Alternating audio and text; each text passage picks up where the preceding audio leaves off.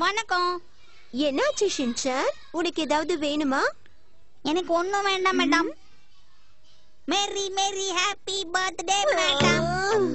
ஒரு ஹாப்பி பர்த்டேவை கூட உன்னால ஒழுங்கா சொல்ல முடியாத ஷின்சான் பரவாயில்ல அட்லீஸ்ட் என் பர்த்டேவை ஞாபகம் வச்சுக்கிட்டே என்ன விஷ் பண்றதுக்காவது வந்து அதுவே சந்தோஷம். கிறிஸ்மஸ்க்கே இப்படிதான் மேடம் சொல்லுவாங்க கேட்டது இல்லையா இப்ப நீ என்னதான் சொல்ல வர ஷின்சான் ஒன்னே இல்லை.